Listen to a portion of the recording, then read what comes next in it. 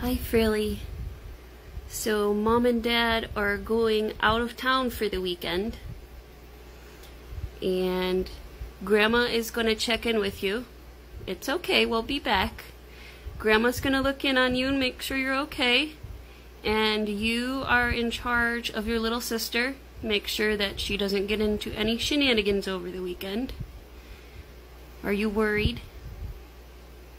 I will be back tomorrow, okay? It's not a long trip. You'll be okay. I love you.